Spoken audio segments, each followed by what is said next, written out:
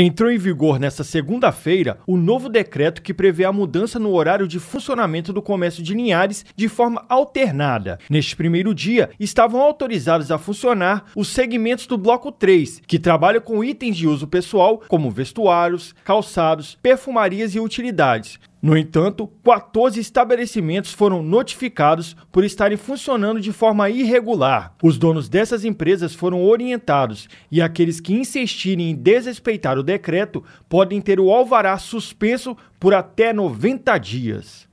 A Polícia Militar conseguiu localizar e prender um dos envolvidos no assassinato de Marcelo Viana, popularmente conhecido como Caveirinha. O crime aconteceu na última quinta-feira no bairro Santa Cruz. Marcelo foi morto quando estava sentado em um ponto de ônibus na via principal do residencial Jocafe, quando dois indivíduos chegaram a pé e efetuaram disparos contra a vítima, que chegou a ser socorrido por populares, mas morreu a caminho do hospital. Os indivíduos foram reconhecidos mesmo com o uso de máscaras e, através de denúncias, a polícia chegou a um adolescente de 16 anos que confirmou a participação no crime.